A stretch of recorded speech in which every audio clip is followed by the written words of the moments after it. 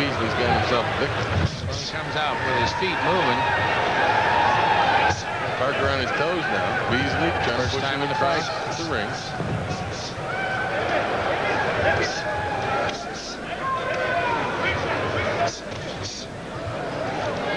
See how long he can dance. Beasley picked up his tempo to follow, but not as much. Parker can't do anything with the left jab because Beasley has established range with his reach. His left is extremely sluggish. Right to the body. So we look to the corner of Lonnie Beasley, his manager Jackie Kallen looking on. She's already got a world champion in her stable with James Toney. She's hoping Beasley will move up through the ranks. Got a ways to go yet.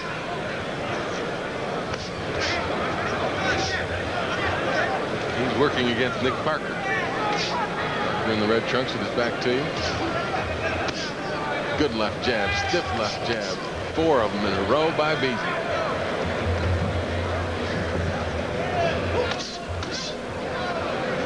A little more than halfway through round five. Oh, nice jab. Boy, I like that jab. He sticks it.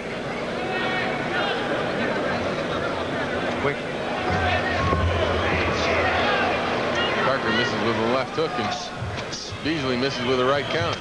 I tell you what, if he can get on the heavy bag and make that right hand a weapon rather than just kind of ancillary to the left jab, something that really comes in with authority behind it, now you got a fighter on your hands. Because he's got the quickness to deliver it Yeah, and get it there. Yeah, well, it gets there, and it's, it doesn't have enough on it when it does. The punching power is such sufficient.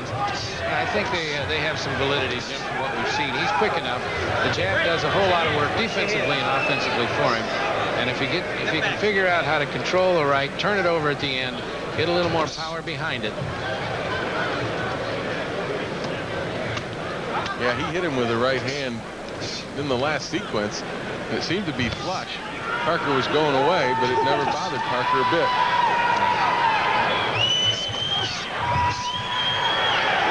Beasley trying to pick some things up. Left is short. The right caught of the elbow as Parker backs out of the way. The right's the slowest of the two for whatever reason. Was he staggered by something there? It looked like he got hit on the top of the head by the left hand. He kind of staggered back, but I think he just lost his balance. We'll be back and take a look at the final round of this one right after we pause for these words. Fifth.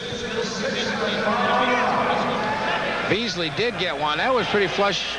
Just a chopping left hand, almost a semi-hook, Jim, right across the ear. And that did stagger him back. From our vantage point, looking through the ropes opposite that picture, we thought it was a jab. And now, here comes Parker. He knows what he's got to do.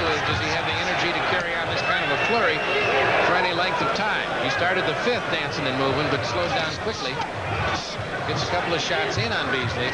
He needs a knockout. He's down five points after five rounds in my mind, anyway. Wild left hand, and Beasley easily dances out of the way. Beasley continuing to pound away. He's got Parker against the ropes. Parker now looking to hold on. Yeah, I think his flurry's done. Yep. I think he had about 20 seconds left in him, and he came out and spent that in the first 20 seconds of the sixth and final round, and now Beasley's going to work. He might have him in a bit of trouble. Accumulation of blows once again, and I think that uh, Parker, if he gets hit good and solid and finds himself in trouble, may just go down.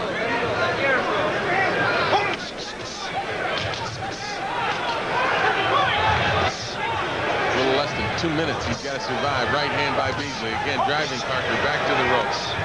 He's hit with everything. I think the question about his power is good one, and uh, they've got to go to work with him in the gym. Probably the most single most effective punch was that left we showed just a moment ago, and it was kind of a chopping job. The right hand is slow in developing more often than not with him, Jim. He reaches way back for it. He doesn't have that, that quick flicking quality with the power at the end. But again, the accumulation of blows, he's carrying the, the pace, although it's become a bit of a leaning match. The crowd getting pretty excited. They'd like to see the knockout. Beasley has a half a dozen in his 10 victories.